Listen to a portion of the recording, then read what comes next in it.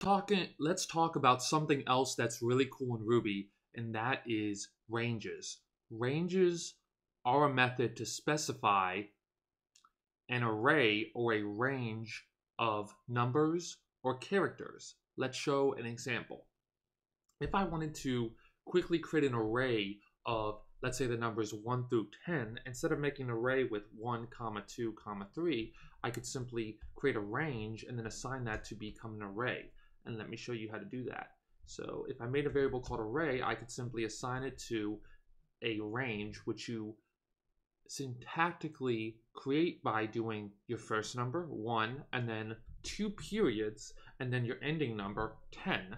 Now there are three ways to do, there are two ways, not three, sorry, to do a range. Now, the first way is as I showed above. And now that we have a range here, I can simply then print out, you know, array.class, and I can see that it is a range class. Now to turn this into an array, I would need to run the to_a method, which means to array. And then when I print out this array, I get the numbers 1 through 10. That is one way to declare a range. The other way is, is very easy and very simple, but there's a subtle detail that you should be aware of. These two periods mean inclusivity. What it means is that I include the numbers 1 through 10, including 10. If I add a third dot, which is the other way to make a range, a third period, guys, then I'm excluding the final number. So I'm only going to have the numbers 1 through 9. And when I rerun this program, now I only get the numbers 1 through 9 when I print out an array.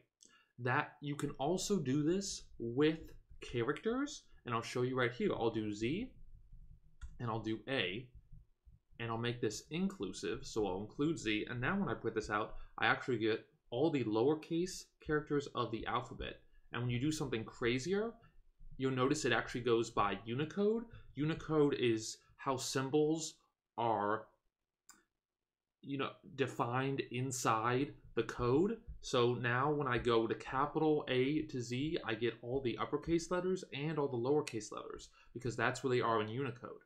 Note that if I go out of order, meaning if I did a number like 5 to 1, it does not go downwards. It does not recognize that. And I run that program. And now when I run it from 5 to 1, I get nothing.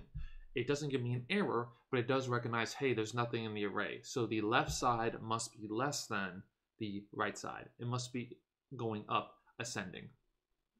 You know, if I wanted to do something like that, I could do negative 5 to 1, and then we did get what we wanted, okay? Now, if I wanted to create an array and turn it right into an array, I couldn't just do to_a. I would have to put parentheses around it so that it took into account the whole range. And then when I did that, it would already be an array. That's something you'll see common with ranges is parentheses around them so that then you can call methods on them because it won't recognize any other method. It won't recognize a range until it gets assigned. So you must put parentheses around them if you want to call on it directly. Get it? I will end it with one thing. Ranges are really helpful in switch statements, which we went over earlier. Remember those guys? That's when you could simply use the keyword case. I'm going to create a variable called num.